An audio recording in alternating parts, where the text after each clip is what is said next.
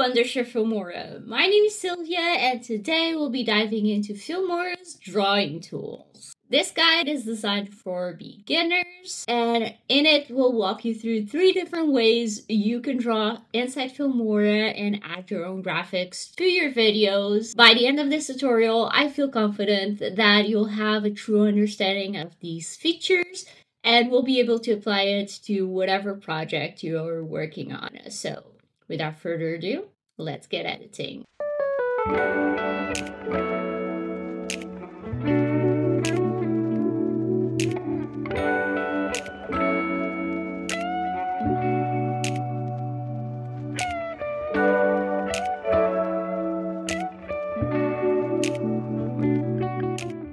Alright, so the first way we're going to do this is draw using the text tool. Yes, you heard that right. text, quick text. Let's move it to over the video and resize to fit the timeline. Right now, you can see much better. We have text here. You can even make it bigger. And we're going to once again click on advanced. You actually can see right here at the top we have text, shape, image, and delete. But we're going to do a shape. And the one I had in the beginning was this one, the square with the rounded corners.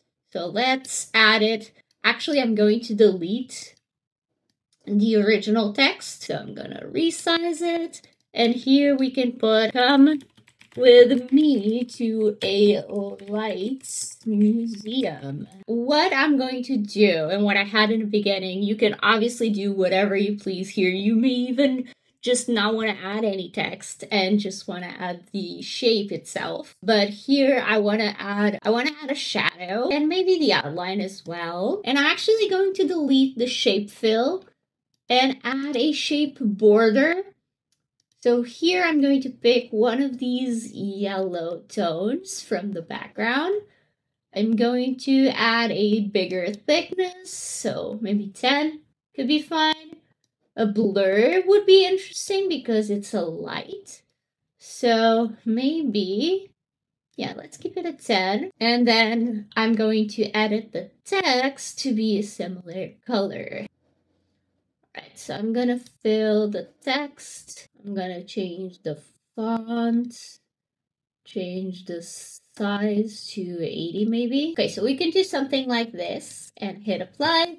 And you have your shape with your text or without your text. All right, so next up, another thing we can use this for is to do a kind of split screen kind of effect.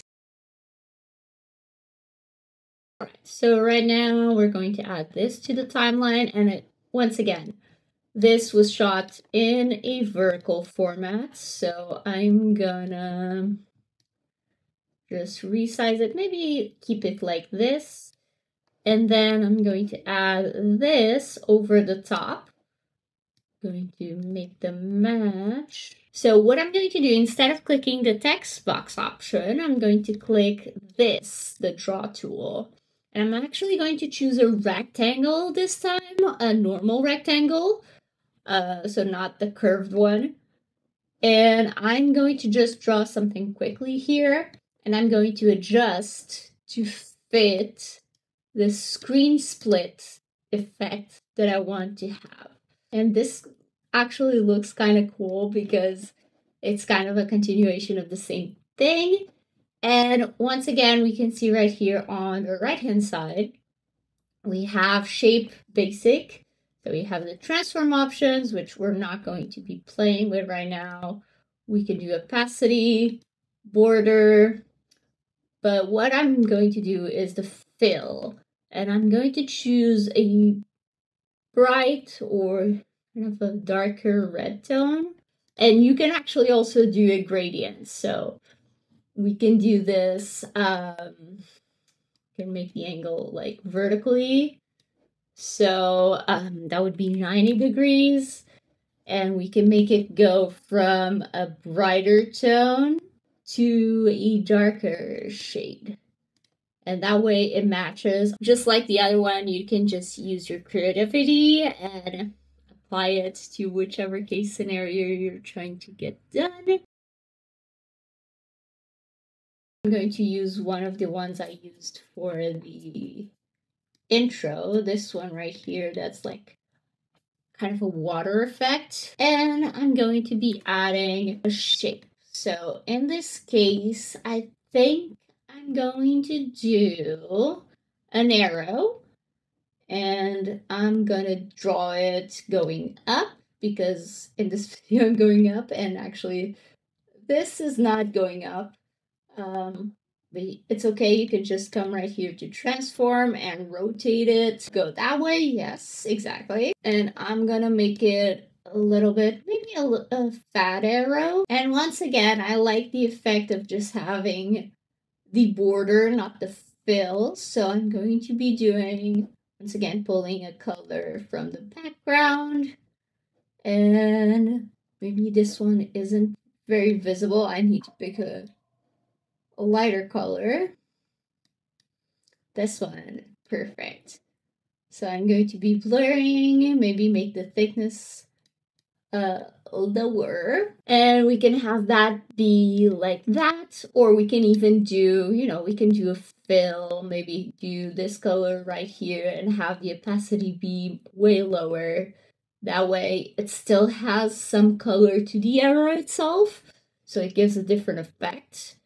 That part is a little bit darker but you can still see what's going on behind it.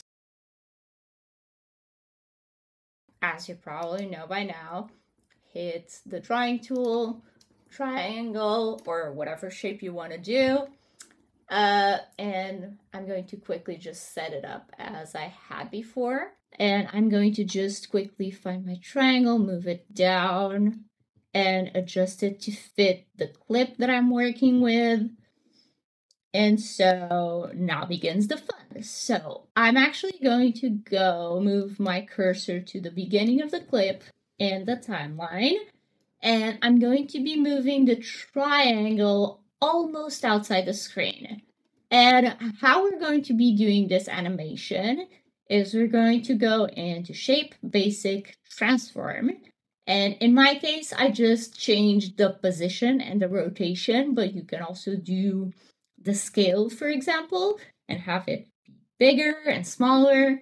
But we're going to keep it simple and just do the position. So we're actually going to be adding a keyframe and then another keyframe for rotation.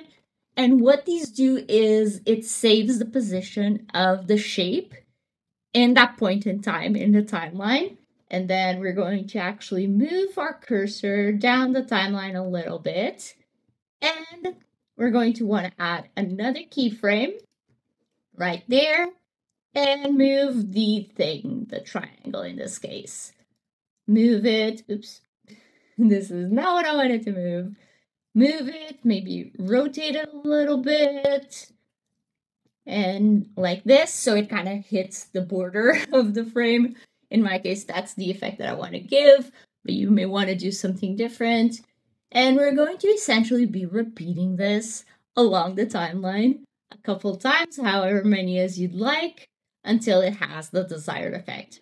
And by the way, you don't even need to add the keyframes. I believe if you just rotate it, yeah, it adds another keyframe for the rotation. And if you move it, adds a keyword uh, keyframe for the position. So it's even easier than I was making it seem.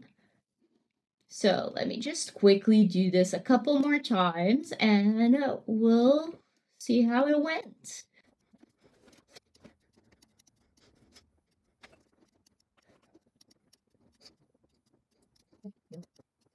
Let's add one last one and let's have it go back to center.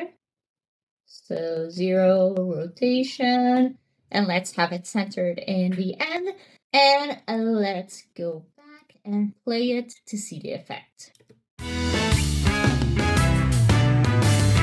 That's pretty much it. Thank you so much for watching and happy editing. I'll see you guys next time.